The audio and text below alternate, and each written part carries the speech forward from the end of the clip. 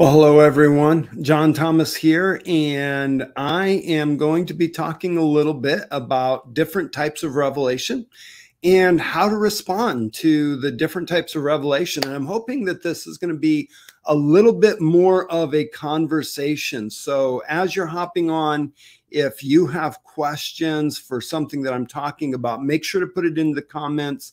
I'm going to periodically be looking at the comments, trying to interact with your questions, with your comments, so that we can uh, make this into a, a, little bit more of a conversation than just me uh, talking. So I, am hoping that this is going to be helpful. That these are some things that I have learned over decades of working with different people that are trying to figure out what God is saying and what they're supposed to do with it. And I, have got story after story uh, of people that have responded well and astounding testimonies of what God has done.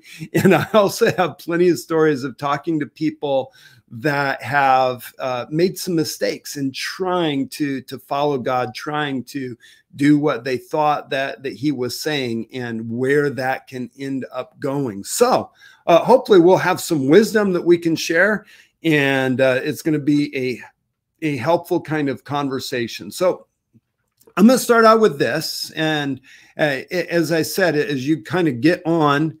Um, go ahead and put in your comments and your questions and we'll interact with those as we go but i, I want to start out with the the first part which is you know understanding what is from god and what's not from god and we, we've talked about this in different videos so i'm not going to spend a bunch of time we actually have a whole online class on discerning and responding to prophecies that, that goes in depth uh, it's a little e-course that we have that that'll help you a little bit more if you want to go deeper into this. But you have to settle that something is actually from God.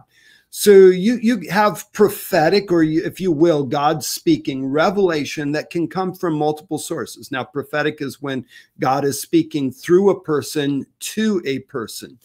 So when you're talking about something that is God speaking directly to you, that, that's more revelation, but our way of responding is going to be the same. One, you have to discern if it's really from God. Now, when it comes directly to you, there, there's a few different things that, that you're looking at. One, how important of a revelation is this? If this is encouragement, if this is you know something saying that, that you've done well on something, you don't need a lot of discernment on that. Uh, be encouraged. Allow that encouragement to come. Yeah, obviously, if you really think that it's not from God, you're going to throw that out. But if you believe that that's God and it's encouragement, that's a good thing. Just go with it. Just run with it. But if it is something that is directive, maybe it's telling you to do something, now you're going to need a little bit more discernment.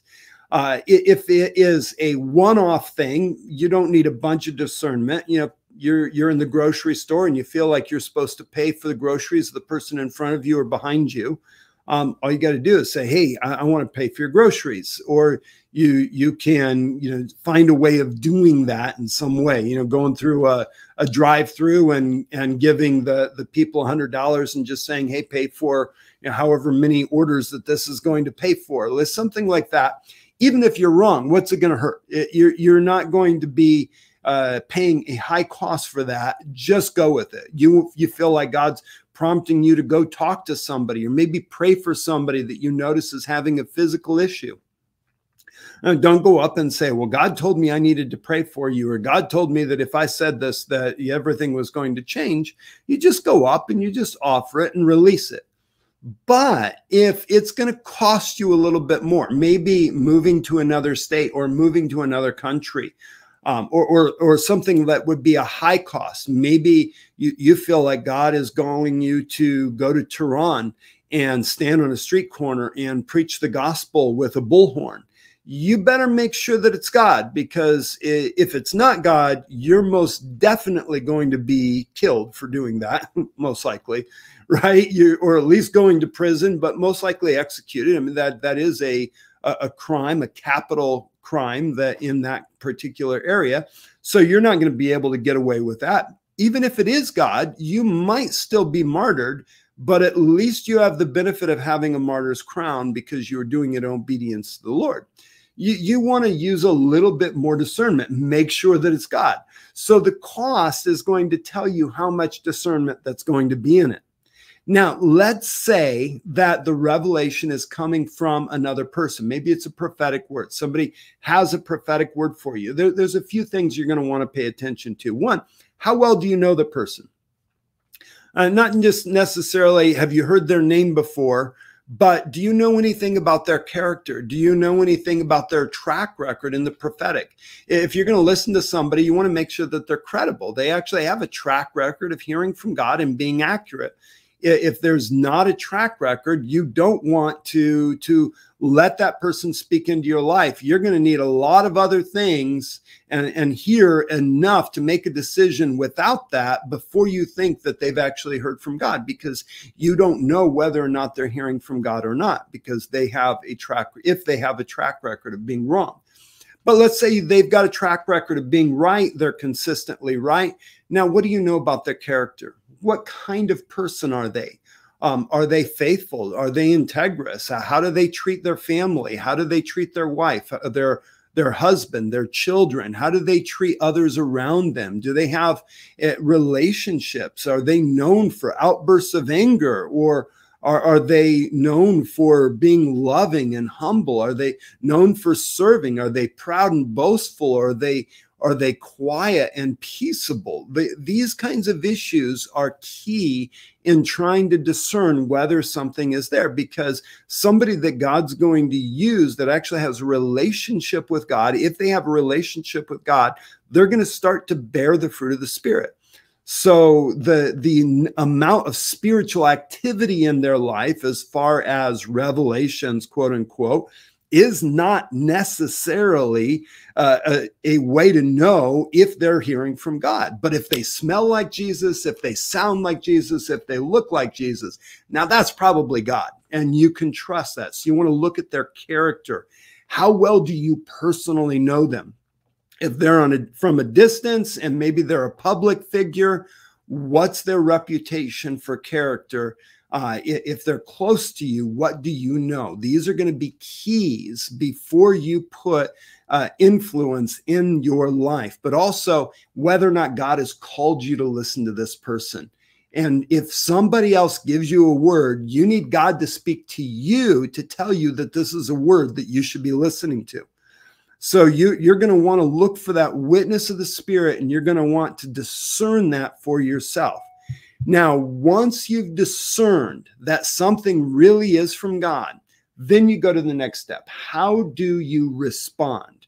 And I'm going to look at three broad categories of revelation. There, there's, there's lots of different ways that God speaks. And I'm not talking about the ways that he speaks, but what he's accomplishing with his voice. So, one, what, what we call a, an identity revelation. What, what do you do when you get an identity revelation? This is when God is telling you who you are.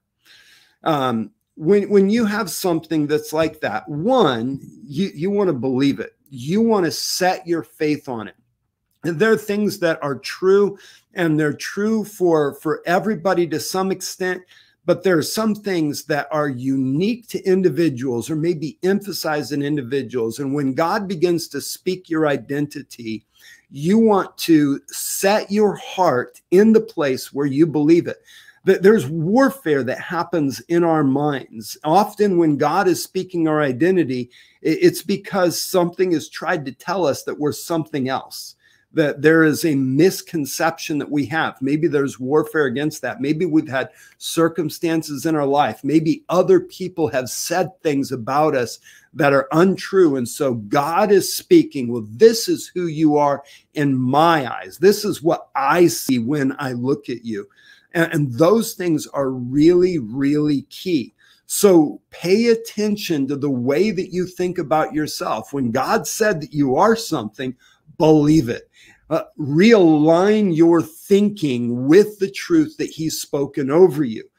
pray it. Begin to pray that back to God. When, when God gave um, David this promise, he said, You know, you, you've pleased me. You've done well. You've, you've got a good heart. I'm not going to let you build the temple like you wanted to. I'm going to give it to your son but you you've done this well david goes in before the presence of the lord and he's like wow God, is this the way that you talk to people? You've just given me a word over my identity that, that I am now a king and that I am the father of kings, and many people are going to be standing in this line of kingship. This, this is amazing. Thank you so much for saying this about me.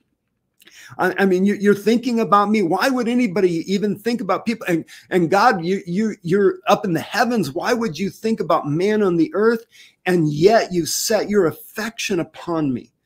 Like he begins to pray that word. He begins to thank God for that word. You take these identity words, you make them part of your prayer. If you're not seeing the manifestation of it, maybe God's spoken over you that you have a healing gift but you keep on praying for people and you haven't yet seen, seen consistent breakthrough and healing.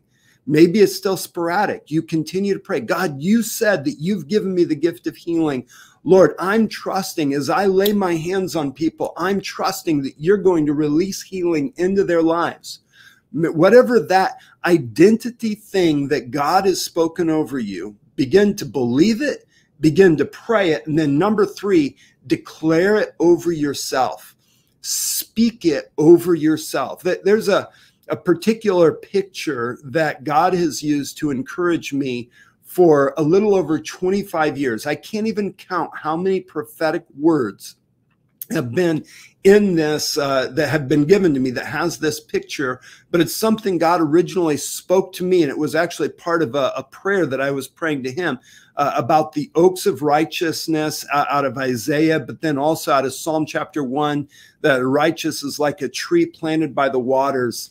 And, and I am often given prophetic words uh, about being an oak, about being a tree, about being planted, uh, about bearing fruit in various seasons. And that is actually something that I declare over myself. I, I, I see myself in that. I believe that it's true about me. I've thanked God for it. I've asked Him to to, to hold that truth and not let me fall from that place. But then I've also declared that over myself. Um, I, have had another one that that I am a, a son, that I have an inheritance. I declare that over myself regularly, especially when I need encouragement, especially when I'm being called to do something that's beyond my ability. I begin to declare the promises of God and what He said over me, over my own heart and over my own mind. And it begins to reorient my thinking in accordance with His word. So that that that's that's an identity word. I'm going to hit a couple of these questions. I'm seeing some comments, and then we're going to talk about the the next kind of word. Um, let's see here. We've got Diane. Many times I receive a word from God to encourage me that was time I'm fighting my depression. I also re receive impressions that lead me to pray for others. True enough, God speaks to us.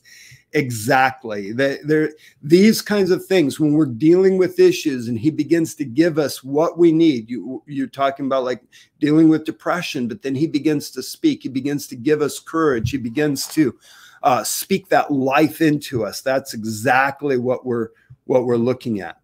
So Sonia asks, well, what does an identity revelation look like?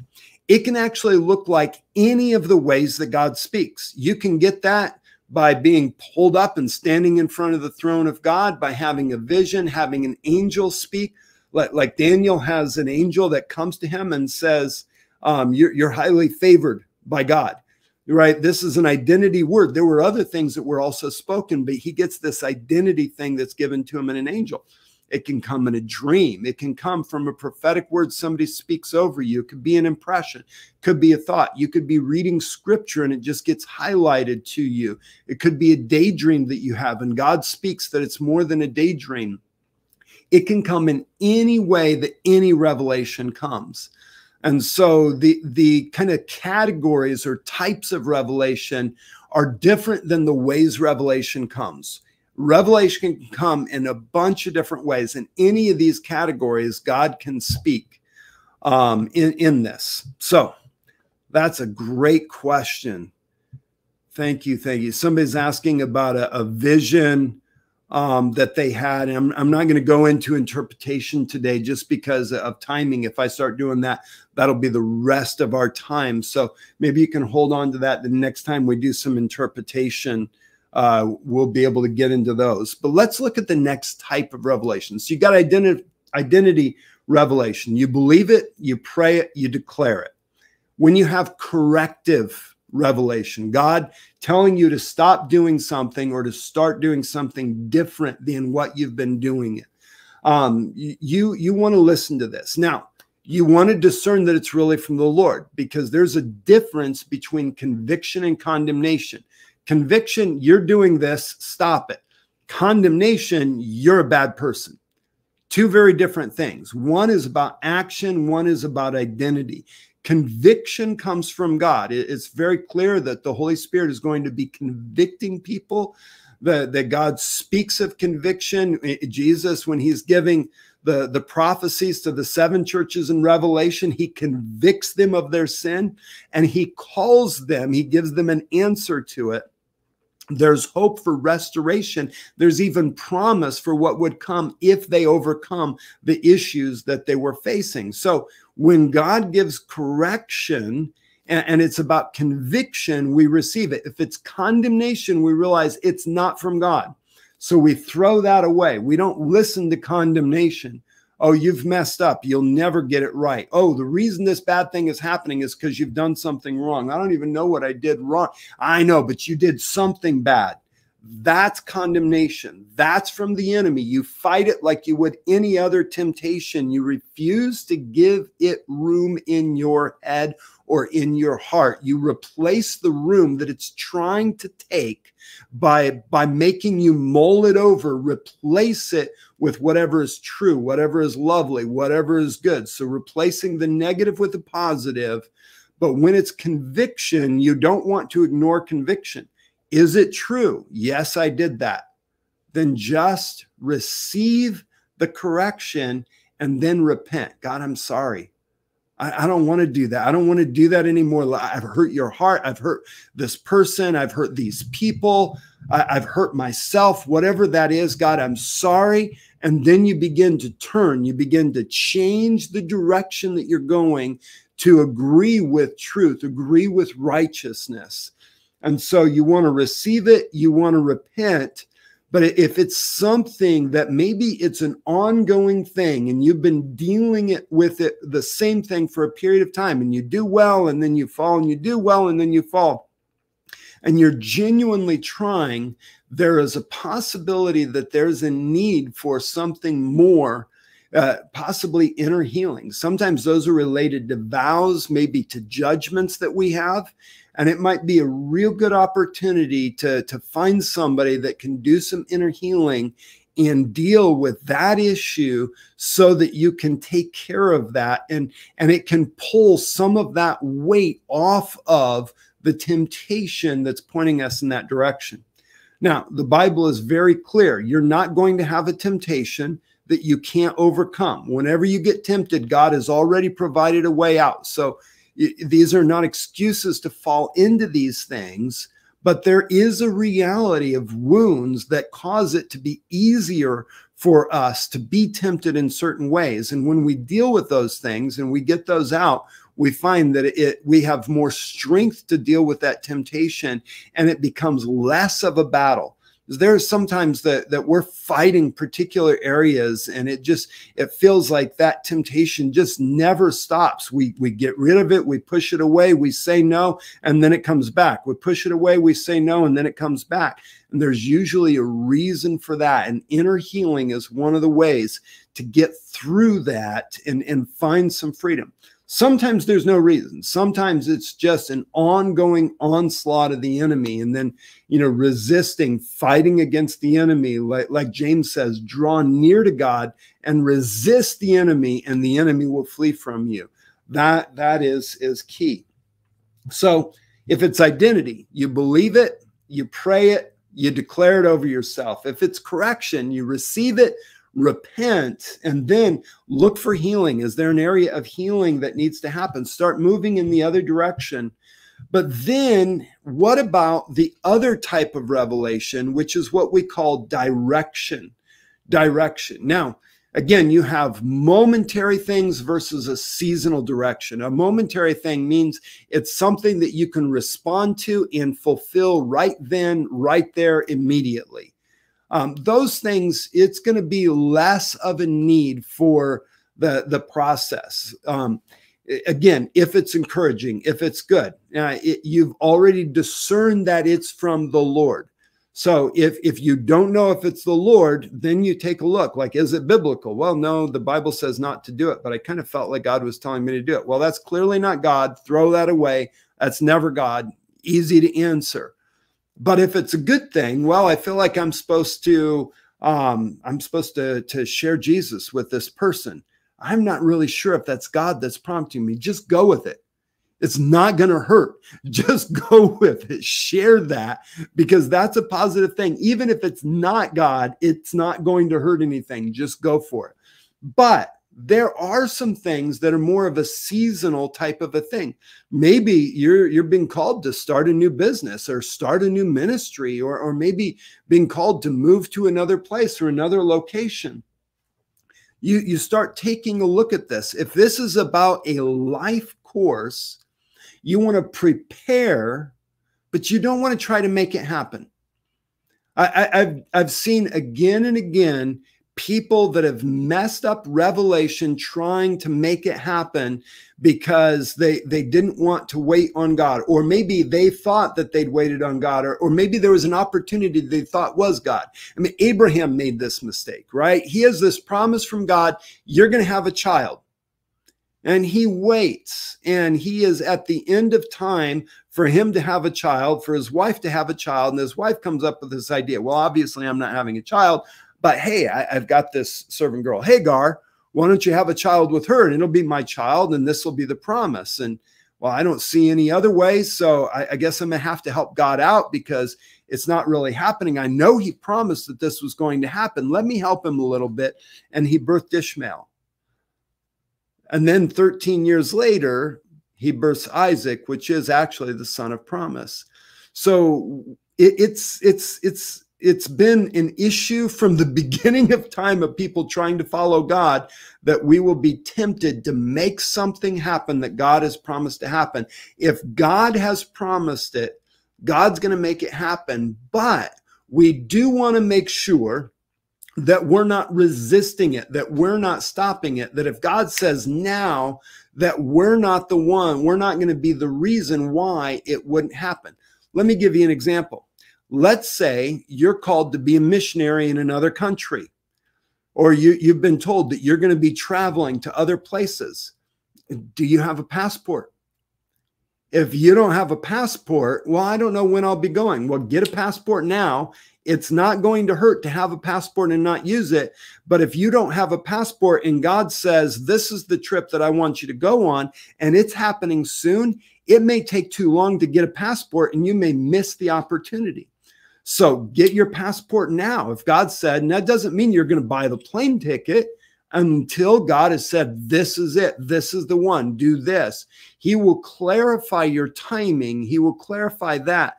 But until then, you start to prepare. Maybe God has called you to open up a business. Uh, maybe, maybe He's told you that He's going to give you a, a, a, a new business and you're going to have to start it. Well, what do you know about management? What do you know about hiring and firing? What, what do you know about um, the basic laws to open up a business? What do you know about making a business plan?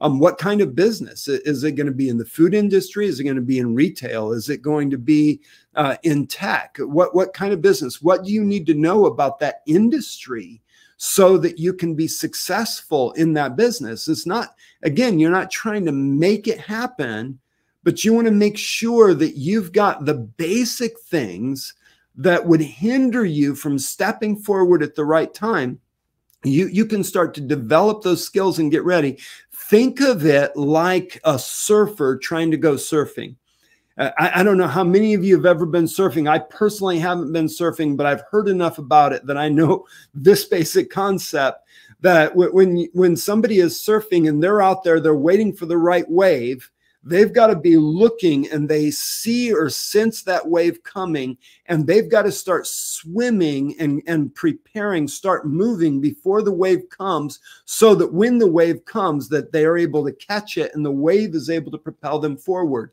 If they don't start, they're going to miss the momentum. They'll never be able to get that wave. If they wait until the wave is on top of them, they won't actually get on the on the part of the wave that will push them forward. They'll just go up and then right back down. And so they miss the opportunity. So paying attention to that time you want to prepare. And when the time is right you want to start swimming forward so that you don't miss it when god starts to call you into it.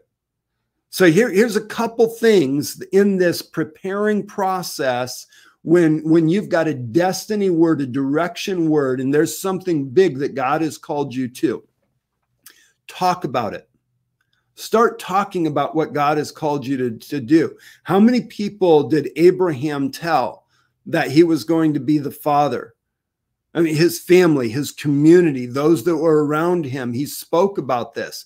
Everybody that asked him, Well, why did you leave? Well, God told me I was going to leave. When he changed his name from Abram to Abraham, like not just the father of many, but the father of many nations. Like it begins to shift his identity.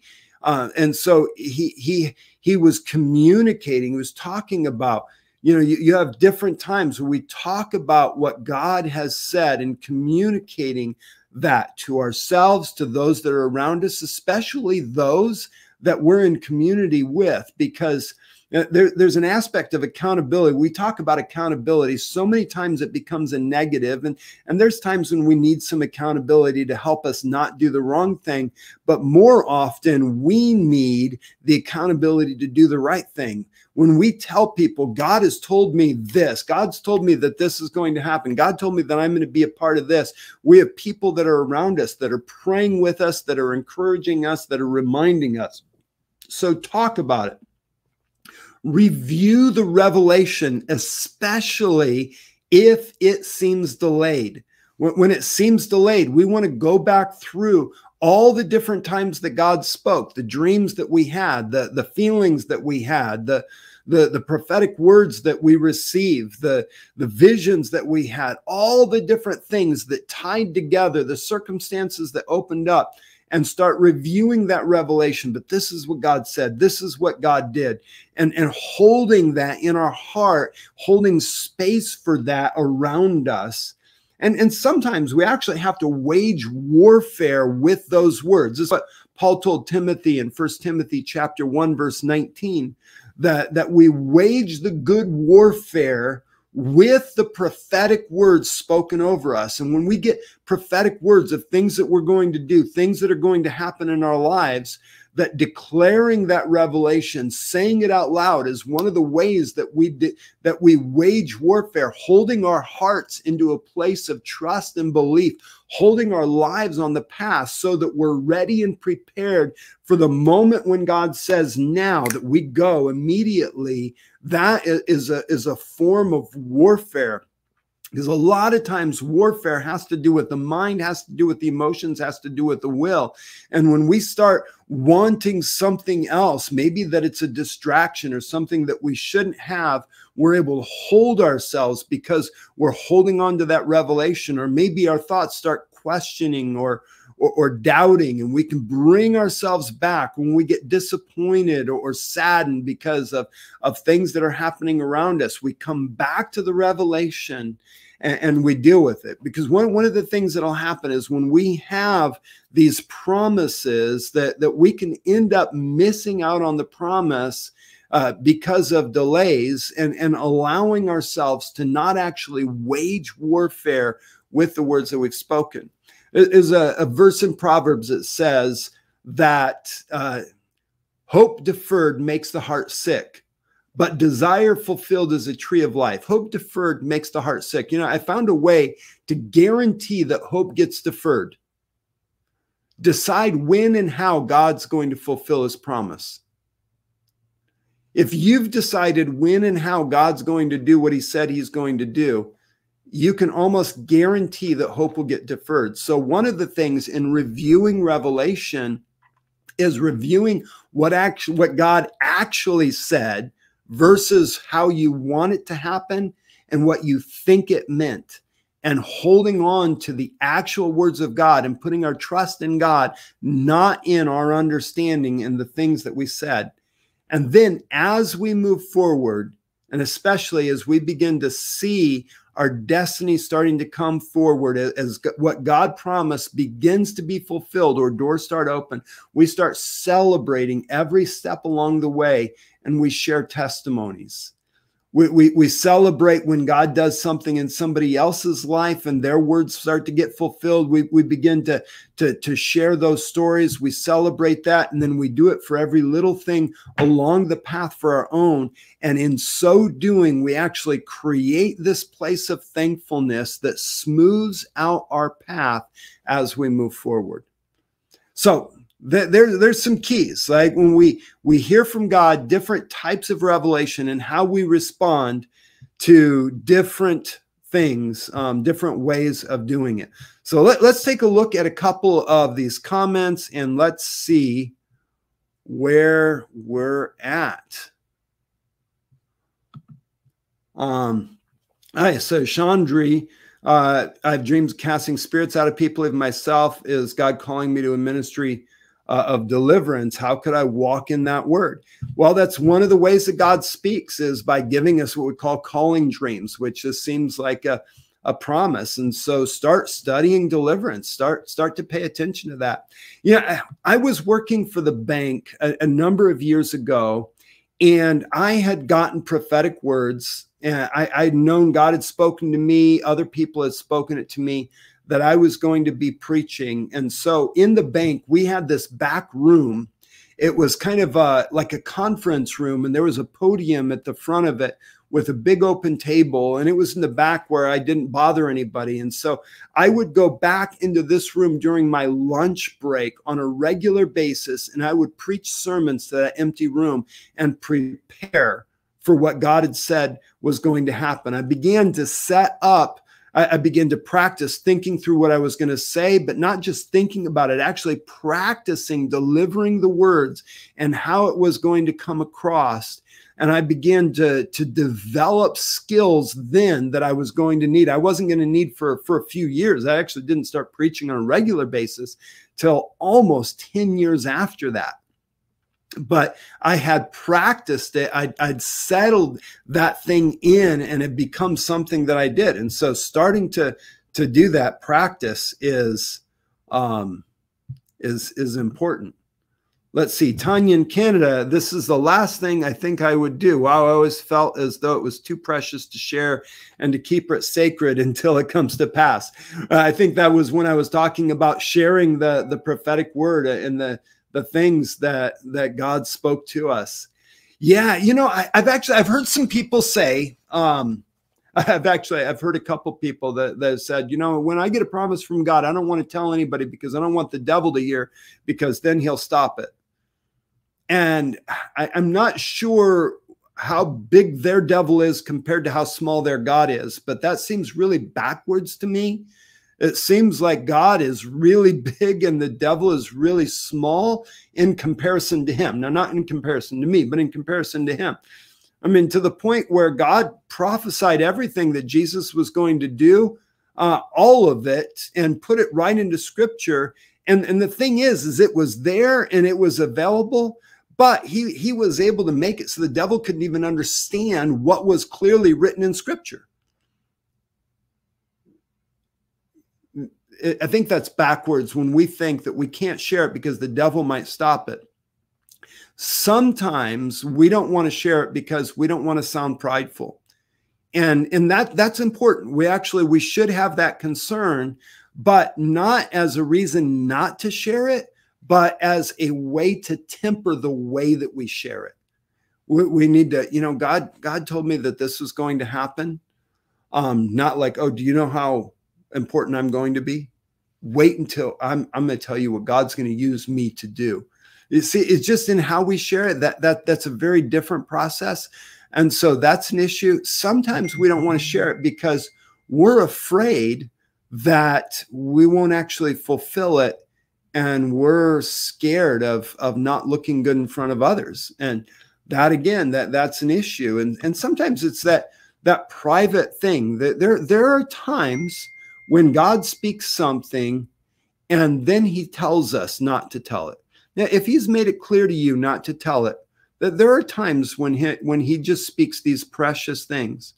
But there it's often that sharing it, it actually frames something in our life that that that allows us to start believing it, giving words to it, putting it out loud. It actually strengthens our faith in what's being said. And it takes a measure of faith just to say, God told me. And, and, that faith, when you use your faith, it increases your faith. So when you use that little bit of faith to say, God told me, it actually increases your faith for the fulfillment of the word. Tim said, I think sometimes we hear from God about his calling, but we think God is going to drop the answer from heaven right away. But we forget that many times our calling is a step by step process over time. Exactly it one of the things that it, it is a major misunderstanding for a lot of people is, is how revelation works. Uh, we, we kind of have this magic formula idea about revelation. Like, I'm going to get one prophetic word or I'm going to get one dream, and that's going to be my whole destiny. But usually, when God speaks, it's layering of this upon this upon this upon this upon this. I mean, we would just come back to Abraham because he's such a, a beautiful picture of how this works. If you go from the beginning of the story of Abraham all the way until the birth of Isaac, and start counting all the different ways that God said the same thing to Abraham over that period of time. He spoke it and then he spoke it and then he spoke it and then he confirmed it, then he spoke it, then he confirmed it, then he clarified it. It's just again and again over a period of 25 years. Abraham was given more pieces and, and more understanding of that prophetic call that was on his life. And individual revelations are often just one part of an ongoing conversation. And when we take a look at that ongoing conversation that includes revelations, that includes prophetic words and our dreams and our visions and our visitations, but also includes our scripture reading and those things that really stick out to us and the opportunities that we have and the passions that we have and the training that we have all of these things, our natural talents, when they come together, we, start to have this overwhelming weight of revelation that pushes us forward into our destiny. And if we start paying attention to all the ways that God speaks, we'll find ourselves getting to a place uh, often, not not like every day, but we'll find multiple times in our lives where major decisions we're making because we know that we know that we know if we don't do this that we're in rebellion to god because there's this overwhelming weight of revelation that has moved us towards something. It is a beautiful process and he is so good to do that. Um sin asks how, how do you know what your purpose is well, that is um, all the things that I said, right? Education, experiences, passions, prophetic words, revelations, opportunities.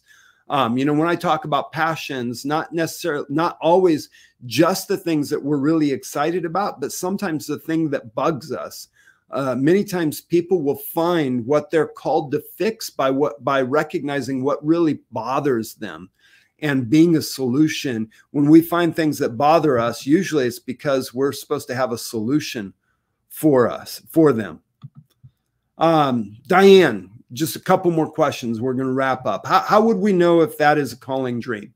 Um, a calling dream is, or any type of calling revelation is when the revelation is either showing you do something that you're not currently doing um, or saying that you're going to do something that you're not currently doing. So, in a calling dream, when you have doing ministry of some kind, and it's not necessarily with a specific person in a specific moment uh, that you wake up and think, oh, I need to go pray for this person, talk to this person, etc but it's like, oh, that was interesting. Well, I, was, I keep on having dreams where I'm praying for people and they get healed. I keep on praying for having dreams where I'm preaching in front of crowds. I keep on having dreams where I'm in on TV, or I keep on having dreams where whatever it is, those kinds of things, those become clues that you're having a calling dream. Okay. And I think that that is the, the end of our questions. So, guys, I, I hope you found this helpful. I, some of the comments, it seems like like many of you did. Um, th these are the kinds of things that we like to teach. I, I, was taking some of the concepts that we have and some of our resources that are available. So uh, if you want to learn more, always follow us. We, we've got lots of these videos right here on our YouTube channel. Uh, make sure that you look through. We've got a lot of videos on our YouTube channel, some from John Paul, some from myself, and some others. So scroll through those. You're going to find some resources. We've got a free blog that's on our website. Uh, we've got online courses. All the courses that John Paul wrote and taught, they're available as a subscription, and then including some that I've written and taught, and some of our friends like Ken Fish and Charity Bowman Webb and Elijah House that, that are all on there that are available. So we, have got lots of things that are going to help you grow and hearing God better and responding to His voice, because that's that's why we're here, is to help you hear God better and respond to His voice. And as always, if you found this helpful, if you would support us financially, that would be a blessing. Just go to streamsministries.com. There's a donate button, makes it nice and easy. And we would be honored to partner with you as we get this word out there and make sure that people know. So, may you guys be blessed. May his voice continue to increase in your life. May you recognize it and respond to it more than ever in the name of Jesus Christ. Bless you guys.